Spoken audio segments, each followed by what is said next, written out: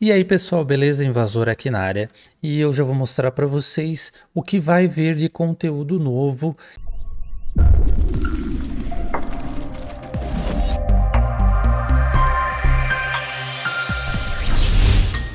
E hoje às 11 da noite eu já vou testar.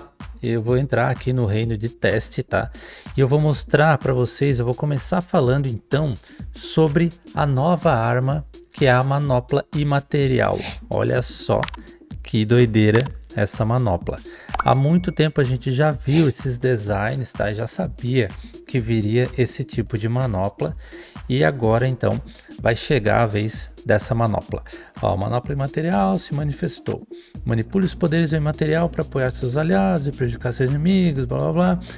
Ela é um híbrido DPS mágico é a primeira arma que vai escalar com inteligência e foco. Então ela é um excelente par para o bastão vital e outras armas mágicas, tá? A árvore da aniquilação foca em maximizar o dano em curta distância e gira em torno da espada do imaterial, uma espada invocada de energia corrosiva do imaterial. A árvore do apodrecimento oferece cura à distância de buffs e gira em torno do orbe do apodrecimento. Então assim, ó, ela é perfeita para o combate em grupo e pode reforçar significantemente, tá, seus aliados às custas dos inimigos. Então, além dessa nova manopla, teremos também novas missões e máfias. Olha que legal. Enfrente os violentos rachadores varangianos, batedores varangianos, cavaleiros, arqueiros. E esses mobs são do nível 16 ao 20, tá? Temos novos inimigos. Temos aqui, ó, o Enxamante Definhado, o Besouro, o Xamã Perdido, o Jacaré Pirata, o Guardião Ancião Piromante e os Trabalhadores Corrompidos Aprimorados. São novos mobs, tá? Novos personagens para esse jogo. Temos novas missões de inimigos. Então o que, que vai rolar aqui, ó?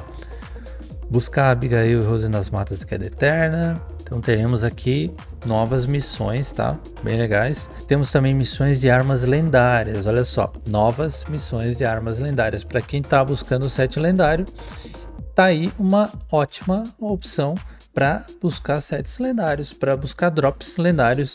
Então, ó, junto ao lançamento da manopla e material, estamos lançando também uma nova série de missões de armas lendárias. Quando tu chega no nível 60, tu pode usar itens lendários. Antes disso, não. Então, aqui, ó, é, os jogadores devem buscar o antiquário de Abington nas águas fétidas para dar início nessa aventura épica. Você precisará ter completado o Estratagema de Magak na Montanha Arruinada e a série de missões Legatos Fúvios nas águas fétidas para se qualificar. Então, cara, se tu não fez essas missões, vai fazer porque sempre vai precisar ter elas para você ir para frente. Então, o jogo te prende nisso daí. Se tu quer buscar as missões de armas lendárias, você tem que fazer as missões lá atrás. Então, cara, vai na história principal, vai fazer as missões das armas, porque tu sempre vai precisar para fazer os novos conteúdos. Temos também melhorias na história principal, com novos tipos de tarefas e versões da missão, incluindo ondas de eventos, objetos destrutíveis e filões de proximidade para rastreamento. Haverá algum deles conforme avança na história.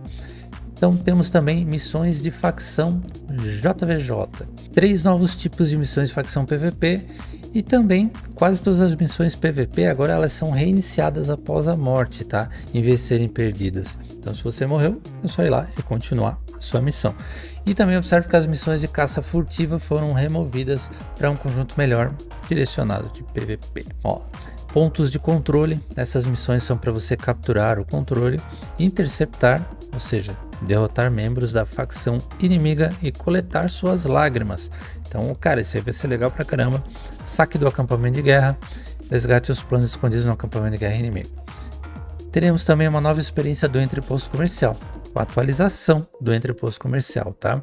Então, eles foram, todos os entrepostos foram conectados e agora são unificados. Você pode comprar e vender os mesmos resultados a partir de qualquer entreposto comercial no mundo.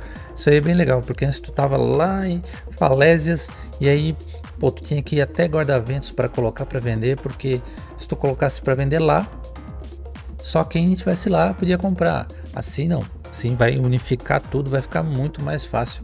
Qualquer lugar, o entreposto é o mesmo entreposto. Show de bola essa atualização aí, viu, Amazon? Então hoje, no dia 9 de novembro, às 11 da noite, né, vai liberar é, o teste desse novo servidor e dessas novas com essas novas funcionalidades e amanhã às 10 da manhã vai entrar em funcionamento de verdade todas essas atualizações. Daqui a pouquinho eu vou gravar aqui para vocês testando essas novas funcionalidades, beleza? Se você gostou desse conteúdo, clica ali em gostei e se inscreva no canal para novos conteúdos. Muito obrigado por assistir o vídeo até o final. Grande abraço e uma boa gameplay para vocês.